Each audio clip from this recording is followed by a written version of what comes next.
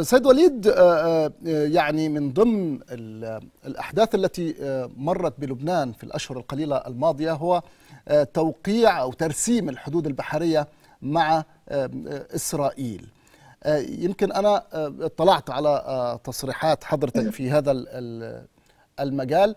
حضرتك لا تعتبر أن ذلك كان تطبيعا صحيح؟ ليس تطبيعا. بالآخر في النهاية رسمنا وفق الحدود التي اعتمدناها. أوكي. ليس تطبيع ليس تطبيع أو معاهدة صلح مع إسرائيل. لكن هنا أيضا يعني لا يجب أن لا أن لا يعني نقول أن ننام على حرير. إلى أن يخرج هذا الغاز وإلى أن نخلق نحن كلبنانيين صندوق سيادي كي نحافظ على هذه الثروة إذا ما خرجت. طيب هناك امد طويل هناك امد طويل. لذلك يعني علينا أن لا نفرح علينا أن أن نسرع في انتخابات رئيس نحافظ على ثروتنا. ننشئ صندوق سيادي كما فعلت النرويج طبعا النظام السياسي للبنان ليس مثل النرويج أو الكويت أو مصر. كي تكون هذه ثروه وطنية وليست ثروة لقبائل داخلية أو خلاف للنزاع وتذهب تلك الثروة هدرا في مكاننا. طب حين حين تم الاتفاق مع إسرائيل وكان ذلك في ولاية رئيس الوزراء الإسرائيلي لابيد مائير لابيد حينها نعم. يعني هل فهم آنذاك بأنه تراجعت إمكانية نشوب نزاع عسكري أو حرب جديدة بين حزب الله وإسرائيل بعد ترسيم الحدود البحرية؟ لست لست أدري أعلم بشيء. يعني إذا كان هناك من فائدة مع الأسف أقول هذا الأمر من فائدة إيجابية للحرب الأوكرانية الروسية المدمرة على الشعبين. وهنا ملاحظة لا بد من وقف هذه الحرب كي لا تصبح لا كي يعني حفاظا على الشعبين احتراما لأرواح الشهداء في الشعبين.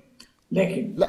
الحرب الحرب اندلعت لا معلش معلش عفوا. بحاجة إلى غاز. عفوا سيد. بحاجة إلى غاز. أتوا إلينا. وكان هناك اتفاق في مكان ما إيراني إيراني أمريكي عبر لبنان مع إسرائيل. هذا هذا كل الموضوع. فلنبسط الأمور يعني تم هذا الاتفاق برضا إيراني.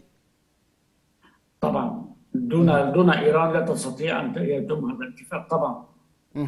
طيب حينها كان نتنياهو في موقع أو في مقعد زعيم المعارضة الإسرائيلية وقال بالحرف الواحد إنه بهذا الاتفاق مائير لابيد اللي كان رئيس وزراء باع إسرائيل لحزب الله. الآن نتنياهو أصبح عاد إلى رئاسة الحكومة الإسرائيلية من جديد. هل يعني يمكن ولو نظريا أن ينقص نتنياهو عن هذا الاتفاق يتراجع عنه؟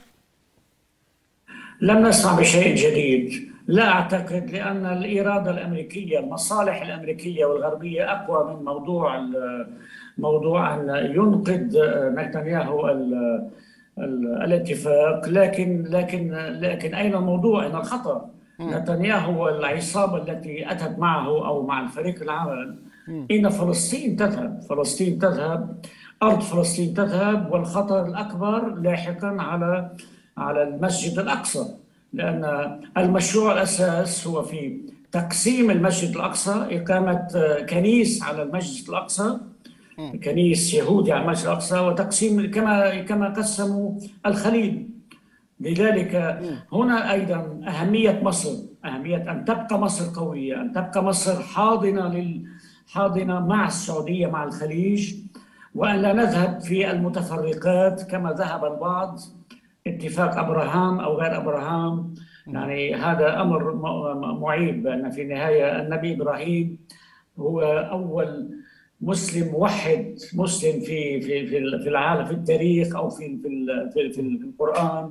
واعتقد من خلاله حافظنا حافظنا على الوحدة العربيه والإسلامية. نعم. أوكي.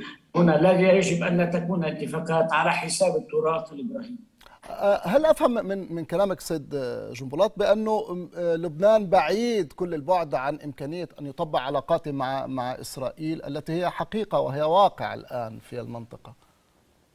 أقول لبعض الفرقاء في داخل لبنان إذا كانوا يفكرون بالتطبيع التطبيع أو اتفاق السابع عشر من أيار إذا كنت تذكر عام 1982 أعتقد أو 83 كلفنا حروب جولات من الحروب. كلفنا جولات من الحروب وهنا عندما أتحدث عن التطبيع ذهبت إلى مصر مرارا ومرارا إلى القاهرة إلى أسوان إلى غيرها.